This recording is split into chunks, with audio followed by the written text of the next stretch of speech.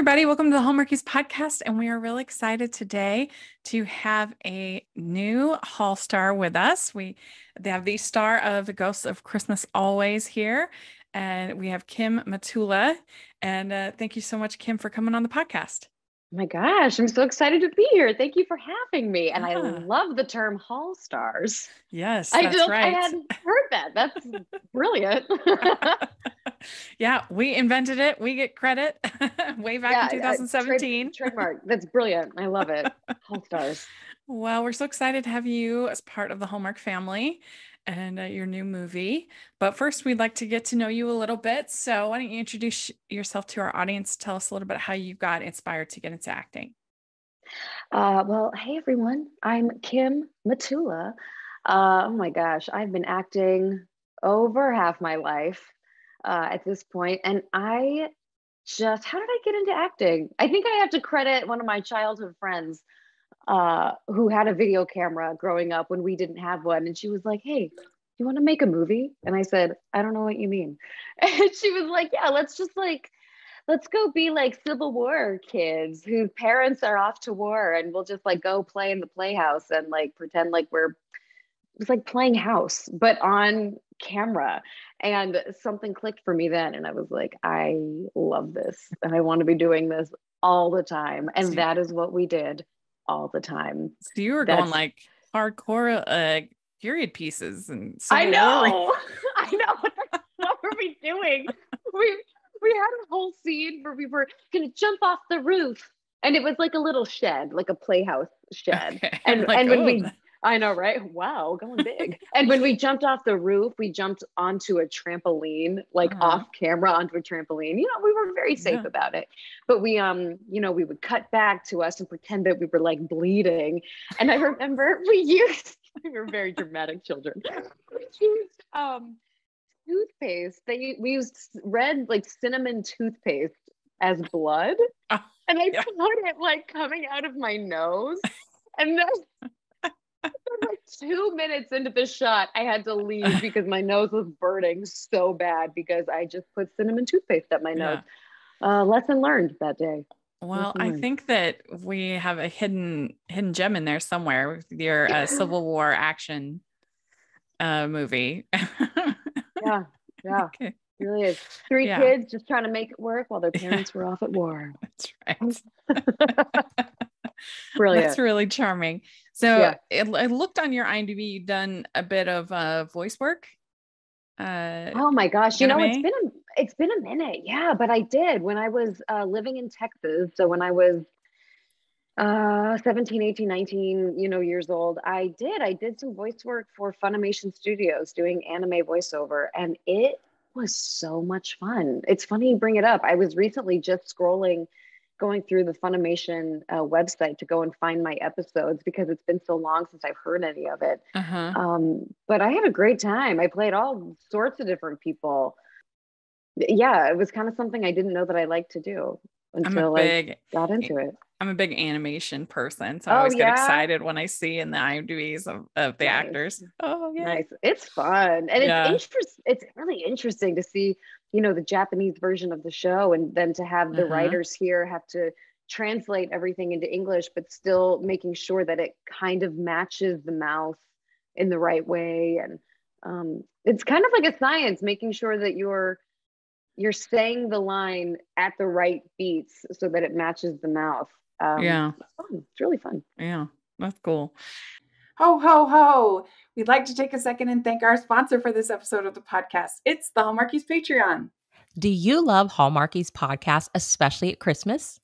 Do you enjoy the holiday previews, recaps, interviews, and bonus episodes?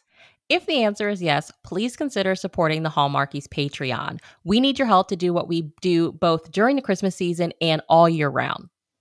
But not only do you help a podcast led by strong, independent women by becoming a Patreon, you get to become a part of the Hallmarkies family. Starting at only $2 a month as a patron, you will have access to our Facebook Patreon group where we talk about the movies, shows, and more all year.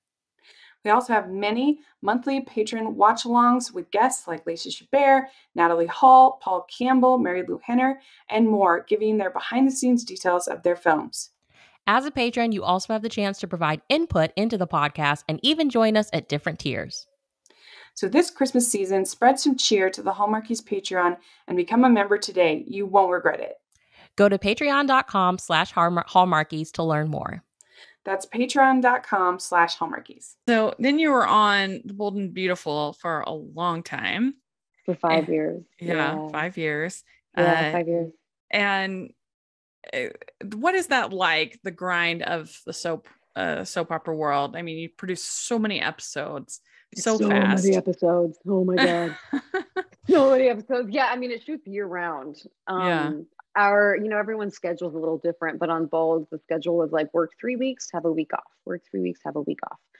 Um, which was really nice. And it, it does make you feel like you're constantly working, but you do always have a little a little bit of a break, which is really nice. And then you get, you know, a month off in the summer and you know, holidays, you get a week and a half or something but it's you know i was in an a storyline which means i was in almost every episode uh, and it's I, I had I had no idea what I was jumping into, you know, when I when I joined the show. I had never done anything like that. I was 21. I was 21. I looked 17. And yeah, I, I jumped into this role and we were shooting every day, but it was such a wonderful learning experience as an actor. You know, of course, you learn about like where the camera is. And if you're going to make a dramatic face, you want to do it downstage towards your camera instead of upstage where they can't see it. I definitely learned how to cry all the time because my character was very emotional. And it was great. And I made some of my best friends who I'm still very, very close with to this day. Yeah. Did so, you have any? Yeah. Did you have any outlandish uh, storylines? Did I? What was your oh most outlandish storyline? Jeez. Um. Well, so my character, I think by the time I left the show, she was probably only like 22, 23, but I had mm. worn six wedding dresses oh my god on that show like and and i'd only been successfully married the one time you know they all just kept getting it, it, there was interference with every wedding. Mm-hmm. Um, oh. Did you have yeah. any like evil twins or or uh or aliens or you know just something over the top like that? I didn't Clones. have evil twins or aliens. You know, we Bold and the Beautiful really kept it as grounded as as possible. I mean, there were times where I was like, I was stuck in a gondola watching the love of my life marry somebody else. And i'm like screaming from the in aspen. I'm like screaming from the gondola. Like liam no don't marry her. I'm right here. Um i you know i got to fight have like a chocolate fountain fight with another girl which didn't last very long honestly because i slipped on the chocolate and went down pretty early on. Your character I, name? Her name was hope logan Hope Logan. That's Hope. Very, Isn't that very it's, classic? It's good, right? It's a good soapy name. And your dude was Liam, so it was Hope and Liam. Was Hope and the, Liam. Yeah. Hope and Liam were the star-crossed lovers, and you know, there, it's always a love triangle. So I was either with Liam or Wyatt, oh, okay. um, who who were half brothers. Oh, okay, good. Yeah. yeah. Right. Yeah. I um, you know, I my character was pushed down the stairs when she was pregnant. She lost the baby. oh, no. It's a real I know, it's really devastating. Uh yeah, you know, just like all kinds of situations on that show. I yeah. love the melodrama of it. Oh, so fun. Yeah. It's aggressive. Uh-huh. For sure. You're with like the, the just the love triangles. You're with somebody new every week. And it's it's almost like the goal is like the goal is to get married. And if you're not married, then there then it kind of means you can fool around with whoever you want. Like you're not married. Yeah, Very but weird. then like something will happen and you get separated and and then of course you, usually it's another get, girl or another yeah guy. or get mm-hmm. tempted. Mm-hmm. It's very fun. Mm-hmm. Very fun. It is. It's it's can't be fun. Yeah. okay. It so, is. But I didn't get to do any comedy, which is why mm-hmm. I left because I wanted to. Right. Yeah. yeah. And you did Unreal right after that. Mm-hmm. I did. Uh, yeah. You were on a season. A lot of Hall stars on Unreal.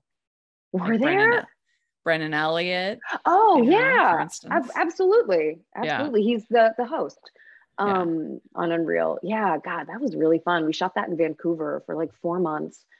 Um and that cool. was it was such a great experience. You know, my my character lasted to the final two girls. Oh, I know. Um, and God, every day was just like perfect hair and makeup and gowns. Um, but man, was it freezing cold. Like we were, we were in bikinis in freezing weather, and then it starts to rain, and you're like, oh my God, I hate it here. Um, and you know, they would like throw the cozy coats on us in between the takes and then throw them, you know, off. And we're having to pretend like everything's fine. Mm-hmm. We love being in this like mini dress or this bikini while you can see our breath. yeah. yeah. That would be hard. But it was really fun. It was yeah. a great experience. I loved it. Again, cool. still in touch with some of those people that I met on that show. Okay. Oh, so so what's it like being in a movie like Fighting with My Family, like a studio film like that? You know it's such a it's just such a bigger um beast was the word that came to my mind i think because of the alliteration.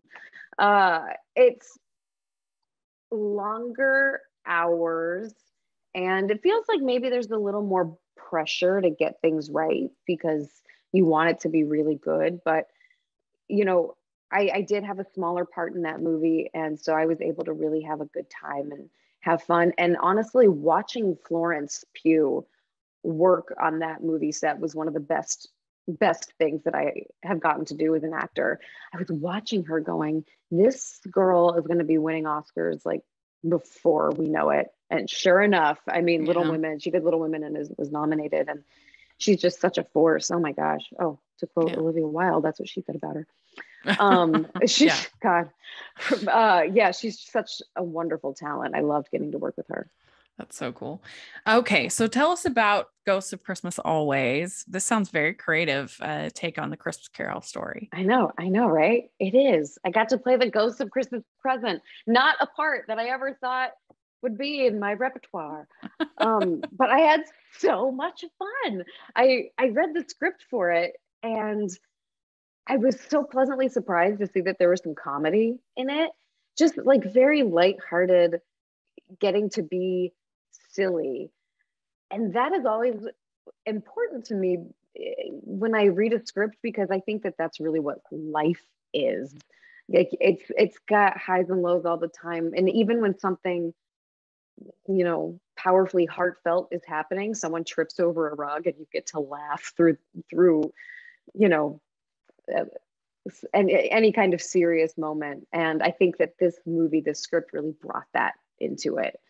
Um, and so I, I was very drawn to that. And then, and then I, I also read the script and was crying, you know, towards the end. And I, I just felt, yeah, I, it was making me feel all the feelings, happy and and sad and i i really liked that and i really was was interested in getting to play all of those things so, um, so there's like a whole bunch of ghosts of Christmas present, right? And you are one of them. Correct. you're trying to help like one of the other ghosts. Is that right? Uh, no. Okay. So it's so we so I work at the department Re- Department of Restoring Christmas Spirit. Okay. And basically, so basically, it's like once you die in real life, um, some are chosen to go work at the Department of Restoring Christmas Spirit, and you're assigned past, present, or future, and everyone is, you know, assigned assigned into like teams. And um, my team members for past and, and future were uh, Reginald and Lori, who were just so much fun to work with because they're such pros and they've been doing this, you know, for so long, and they've got great stories. And I, you know, I watched Reginald on on Family Matters, and so that like blew my mind getting to Die Hard. I know, I know. Everybody loves Die Hard, and I've seen it. I've seen it once. Uh, I think now that I've worked with him and gotten to know him, I should go back and watch it again just Definitely. for fun. Definitely. Um, so so yeah, so we our job as as a team, past, present, future, we get assigned a person and that person needs their christmas spirit restored just you know just like in in a christmas carol. That's our job. And so we go to earth you know one night a year and we restore their christmas spirit. Except this year our mark doesn't seem to need restoration. He seems very cheerful. Like there's there's something wrong with this mission from from the beginning. And we just don't know what it is. But we're going to do our job we're going to get to know this person and we're going to take him on the journey of his life and in that journey i learn a lot about myself mm. and a lot mm. about why he is our he is our um, our mission this year and there is so much more to it than just restoring christmas spirit so much well, more. so he's not really a Scrooge, though. He is not a Scrooge. He is not a Scrooge. Uh, his father's a real Scrooge, and so there's some there's some oh. confusion there. Like, hmm, maybe maybe it's supposed to be. Maybe we got it wrong. Maybe something got twisted in the communication pipeline at work, and uh, you know we're really not sure what it is, but you know, as obviously as the movie goes on, um, we learn what the connection is and why he was chosen. Uh, and and my character Catherine um, uh, really learns a lot about herself, and in, in in all kinds of ways that she was not expecting. And I think that's one of the great things about it for me, about this script, is that, you know, you just have to kind of let life happen sometimes and it will, and, you know, you'll be exposed, your eyes will be opened to to things you were not expecting, but that you really needed. Mm-hmm. And I think she goes through that. Yeah. Well, that sounds very creative, very fun. It is. It is creative. Yeah. yeah. I mean, and I, I get to kind of jump through different period looks because my character is from the 1950s but then oh. she kind of yeah so i get to i got to have this really beautiful like 1950s look for a lot of it and kind of jump back and forth between like a present day look and a 1950s look. And it was really it was really fun getting to explore that. Yeah that would be fun. Uh, yeah. uh, so how did you get involved in the movie? Did you audition or did they come to you? They came to me and I, I was really flattered. They came to me you know my my manager called me and told me about it. She said take a look at the script. And uh, i i loved the script immediately it was kind of a, a no-brainer my mm-hmm. my instinct my gut was telling me that i should do it and i'm so glad that i did because i had so much fun doing it yeah so yeah. are are you a big rom-com slash christmas movie watching fan I do love a rom com. Yeah, I do love a rom com, and I do love Christmas movies. Um, I'm new to I'm new to the, uh, you know, countdown to Christmas. Mm-hmm. Um, but I I had so much fun working on this one that it it's made me want to experience more of them. Yeah, yeah. Yeah. Well, luckily there's like 40 of them. So I know. Year, so. I got plenty to choose from. And I've, I've got so many friends, you know, in, in real life who've been a part of these films. Uh, and they've all had wonderful experiences. No one's got a, got a bad thing to say. Mm-hmm. Yeah. Mm-hmm. Uh, so if, if you were assigned to boost someone's Christmas spirit, what mm. do you, what would mm. you do in real life? Oh man. Well, so I so in real life I'm a big Christmas uh, decorator.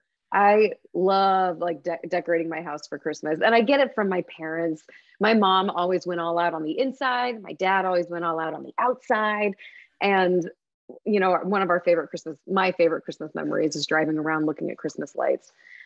And I do, I really embody that now as an adult. Um, every year, I I decorate my house to the nines because one of my favorite things is like watching cars drive by my house yeah. and stop and you know take pictures or like some you know like you know when it's winter time you have the windows open and the air feels so crisp and so good and hearing people say how much they like the house and how cheerful and how it just really emulates the holidays and I think that like that in a way I am giving people Christmas spirit in that way in real life and I love being a part of that. Yeah. Um, well, it was especially really it was especially meaningful in during the pandemic during the quarantine. Yeah. Because you couldn't go in people's houses, you couldn't entertain, but you could drive mm-hmm. around and see their decorations. Yeah, or even like go for walks. I love yeah. going on walks around the neighborhood and just stopping at the houses that you know where someone you can tell that people really took the care and the time to to decorate and i don't know something Yeah. about it just is so inviting and warm and cozy and it brings back a nostalgia feeling for me that i really really connect with mm-hmm. yeah We'd like to take a second and thank our sponsor for this episode of the podcast. It's the Hallmarkies merch store. Are you looking for that perfect gift for the postable, hardy, or hallmarky in your life? What about getting that t shirt or hoodie that will help you stand out at your next holiday party? Now is the time to check out the Hallmarkies merch store. Full of festive designs by artists like Jessica Miller, Carrie from Hallmark Comics, and more. You can even have more than just shirts, but totes, cell phone cases, notebooks, mugs, and more. And it isn't just Hallmark. We have designs for Anne of Green Gables, Man from Snowy River, The Nanny, and more. Every purchase at the merch store goes to help support the podcast and allows us to make the great content you know and love. There are frequent sales, so go to teepublic.com slash stores slash hallmarkies or see the link in the description. That's teepublic.com slash stores slash hallmarkies. Well, we have some fun, silly questions to like to end with. We yeah have bring it on all right. This is this is the holiday version, of course. But our first question is what is your favorite holiday drink? ooh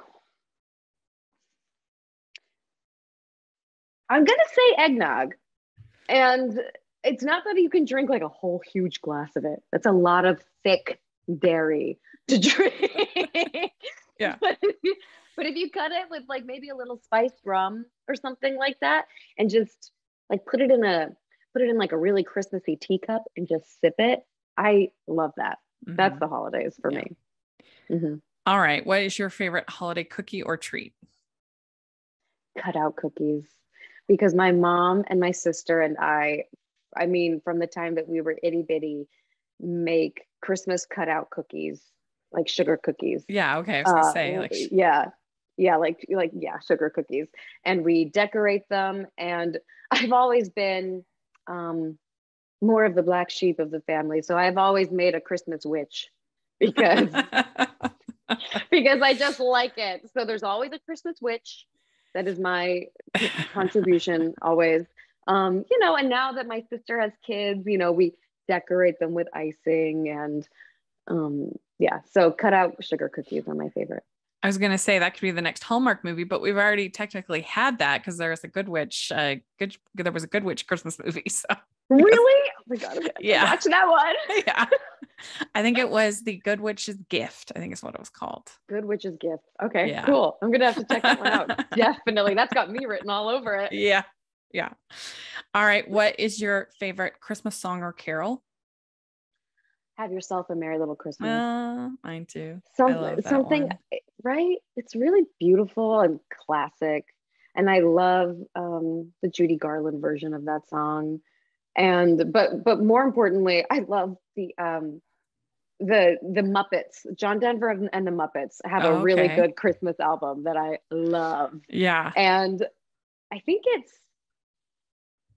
i don't remember Is which it- muppet is is- singing Well, I know there's a very famous version with Bert and Ernie singing "Have Yourself a Merry Little Mm. Christmas." I'm not sure if it's that one, but it's not that one yeah. Uh, this one, this one's definitely more of a growly Muppet voice, but it's it's one of my absolute Yeah. favorites. It's Yeah. so beautiful. yeah, I love that Yeah. song too. Yeah. All right. What's your favorite classic Christmas movie? It's a Wonderful Life, Yeah. no no doubt about it. And it's and it goes back to to the nostalgia feeling that I that I it still resonates with me because that's one we watched as a family every year. Uh, yeah. Yeah. And you kind of forget how heavy it is Oh, until you watch it and you're like, he almost, Oh. it's just like suicide, I know. poverty. Like it's really heavy. greed and it Yeah. really is it's kind of dark and it is kind of one of those that you're like is it really a christmas movie or does it just take place at christmas time Yeah. and you know who cares it's Oh, it's, it's so good. of I lo- it's, it's so good it's so and as an actor yeah. it's so moving and as an actor you know i can watch um i could watch him all day long in Yeah. movies he's Yeah. he's just so incredible Hello, movie it. house. yeah, savings and loans. Uh, okay, which do you like better, Scrooge or the Grinch? Scrooged. Does it? Can it be the like the Bill Murray version of? Scrooge? It can be any Scrooge. Yeah, we just figure that both of them are characters who hate Christmas and they are. I'm, I'm I'm gonna go with Scrooge okay. because the Bill Murray Scrooge is also one of my favorite Christmas movies. I know not a lot of people love that one, but I do. Maybe it's because I love Bill Murray. Yeah. Um, definitely funny. I it's love so Carol Kane. Carol Kane in that movie. Say, She's so oh, Greg, what is it? It's a hit him in the face. It's yeah. one of my one of my absolute favorites. Um, I'm gonna yeah, I'm gonna go with Scrooge. I love okay. the Grinch. So I'm gonna go with Scrooge. All right. Which do you like better, clear lights or colored? Clear lights, but clear lights, but they have to be the classic warm white. Mm. I'm not a fan of the um of the like bluish bright white. Oh, okay. Yeah. So I want I want a classic. I do love the classic colorful lights as well, but again, not the new ones. Not the new mm. like LED ones that they have. I want the I yeah. want the classic. Old school. Yeah, I want that old school warm ambiance that it gives out. Mm-hmm. Yeah, mm-hmm. I hear you. I hear you. Yeah. All right. Which would you rather do? Build a snowman or be in a snowball fight? Build a snowman. Build a snowman because I can bring out my creativity in that. Mm. I can make the snow person whoever I want them to be. I can give them real personality. I like yeah. that. Do you consider yourself a good gift wrapper or not? Oh, I am an excellent gift wrapper. I'm an excellent gift wrapper. Absolutely. I love it. Yeah. I love wrapping presents. Okay. Uh, last question. Do you have an ugly Christmas sweater and what does it look like if you have one? I do. Um, I do have an ugly Christmas sweater. Uh, I have one with a llama on it, although that one does say Happy Lamaka. So that one is more of a Hanukkah sweater. I I need more ugly Christmas sweaters, honestly. Because you really can you have too many ugly Christmas sweaters? No. I mean, you and you're can. like, my sweaters are great. They're not ugly. I know, right? Yeah. Who said they're ugly? Point them out to me. Who said it? Maybe this year I'll make one. Get out the yeah, hot glue gun. And get creative. Poke yeah. some lights through it. Oh. You know, make it interactive. Yeah. See, that's, that's legit as opposed to these ones that are like designed to be ugly Christmas sweaters. Those exactly. aren't good. Because they're ugly Christmas sweaters yeah. at that point. They're like I had one as a I had one as a kid that had like pom poms, like like snow, like pom poms all over it. Um that I really like. yeah, I should try to recreate good. that. Yeah. I think so. Well, very good. You answered all the questions. Nailed it. Nailed well, thanks, it. Thanks for coming on the podcast. This was a lot of fun. Uh, I'm really excited to get to meet you, and uh, we just are looking forward to this new movie. So thanks for coming on. Absolutely. I'm excited to watch this movie. I mean, I know it comes out October 30th. Um, happy Halloween miss. Yeah. but it's kind of perfect. I mean, because it is about ghosts and everything. I mean, Halloween. I hadn't thought about that. Yeah. It's, like the, the, you know, the Christmas song when they say scary ghost stories and tales of the glory. Tales of the glories of yeah. Christmas long, long ago. yeah, it's all about uh, it's all about Christmas Carol. I love a Christmas ghost. Yeah, yeah you're perfect. right. It is Halloweeny. yeah. So, do you have social media or anything like that you want to share? Um, you know, I am on Instagram and my ha- handle is KimPics, but there's a silent B in there. K I M B P I C S um, which is a throwback to how a girlfriend used to spell my name all the time because my full name is Kimberly. okay. She used to spell it Kim with a B. So everyone thinks it's Kim B Picks. It's not. It's Kim Picks. But the B is silent, like lamb or climb. You can tell I've said this before. Good. Yeah. Well, we'll have it all in the description section. So thanks so much and hope you have a very Merry Christmas. And uh, hopefully, it will be the first of many Hallmark movies for you. I hope so too. And I hope you have a Merry Christmas as well. Thank you. We'd like to thank Kim for coming on the podcast. This was so much fun to get to talk with her and get to meet her. We really appreciate her taking time to talk with us. And if you have anything to say about all the things we talked about, leave it in the comment section or on Twitter. We'd love to hear that. You can find me at Rachel's Reviews, all of our social media, iTunes, YouTube, and on Rotten Tomatoes. So check that out. Also, make sure you're following the podcast at Hallmarkies Pod and Hallmarkies Podcast all of our social media. And if you're listening on iTunes, please leave your ratings and reviews. That really helps us a lot, especially this Christmas season for people to find us. And if you are watching on YouTube, please give the video a thumbs up and subscribe to the channel. We appreciate that so much. We also have the Patreon group and merch store that helps us out so much. And we have new festive designs at the merch store. So please take a look at that. And uh, thanks so much, everybody. And thanks to Kim. We'll talk to y'all later. Bye.